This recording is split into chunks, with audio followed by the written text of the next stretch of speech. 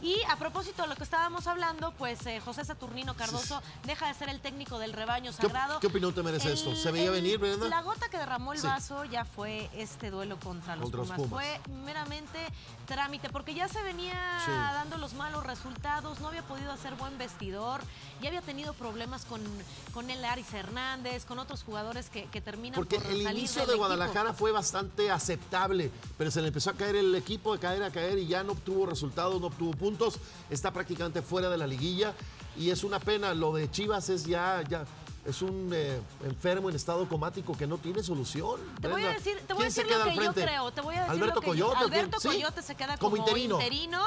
Eh, ya más adelante dirán quién será el nuevo técnico del Ajá. rebaño sagrado, pero lo que yo creo en esta situación, Sí. la culpa es compartida. No creo que José Saturnino No, Cardoso tenga no. la culpa de todo. Él no es el que Hay mete un los porcentaje goles, para él, pero sí porcentaje creo los también jugadores, pero desde la cabeza, Brenda. Higuera, No, bueno.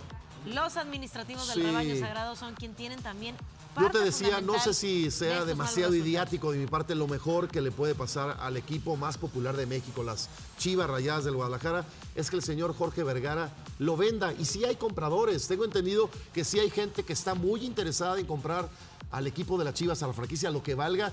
Yo creo que es lo mejor que le podría pasar. No sé qué. Yo también creo ¿Qué eso. Yo al también, creo que, yo también creo que están en una crisis severa. Severa, tocaron Severa, fondo. que tienen que dar otra cara, tienen que mejorar. Bueno, eh, evidentemente cualquier técnico que vaya llegando al mando del rebaño sagrado, Sí. si continúan las cosas así, será desastroso. Es una pena y porque teniendo malos resultados. A No Chivas, podemos al América, al Cruz Azul, a Pumas, a los dos equipos del norte, al Santos, siempre los queremos ver en, en- en la liguilla, ¿no? Sí, y además se convierte en el octavo técnico cesado en lo que va de clausura 2019. Hasta el Desde momento. Paco, ahí estarán. Qué. Hasta José Oye, Cardoso. Brenda, ¿ese suman León el equipo a vencer, el equipo favorito para llevarse el título de Sí, esta campaña? sí. Por lo que está haciendo el equipo de Por Nacho lo que Ambriz. está haciendo y por lo que hicieron los equipos regios este fin de semana, a mí me dejan muchas dudas. El